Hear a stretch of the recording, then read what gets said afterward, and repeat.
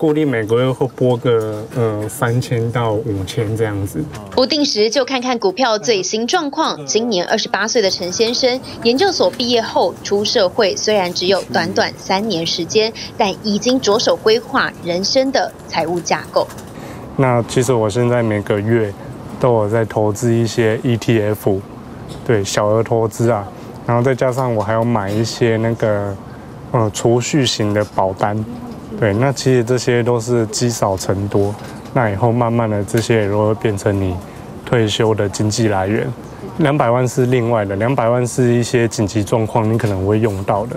而为了能拉近目标距离，除了在企业任职，同步也斜杠接案子增加收入。而为了退休后的生活做好准备，其实这样的数字已经算很少了。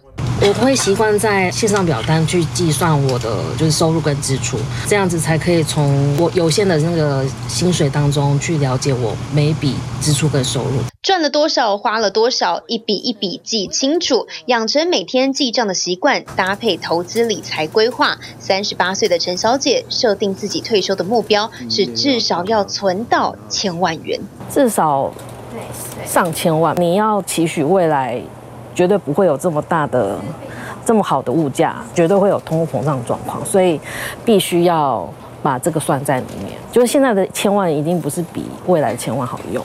不仅要越多越好，而且还得要越早越好。根据数据显示，每晚十年开始准备退休金，每个月要存下来的准备金就得要多出一倍。不过调查也发现，仅有百分之二十二点二的受访者真正开始付诸行动准备退休金，有百分之三十五点九是完全没有任何规划。尤其对年轻族群来说，退休是遥不可及，不是现在要思考的。课题，养儿防老这件事情，在未来的社会其实是可能性是越来越低的，因为其实包少子化表示说，其实可能一对夫妻不。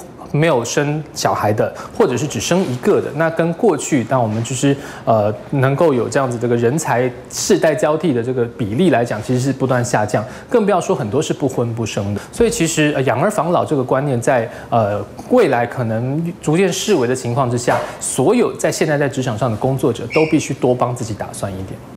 以主计总处最新统计来算，六十五岁以上的家庭平均月支出六万元。若以六十五岁活到九十岁来计，一个家庭退休金准备就得要一千八百万。根据理财专家提出的建议。退休准备金一定要专款专用，别因其他计划挪用而打破重来。同时，也要做好医疗的防护网，做好医疗费用转嫁的准备，以及不会因为任何突发重大事件而中断的稳定长期投资。其实呢，现在国人的余命啊，每一年是以零点三岁去做。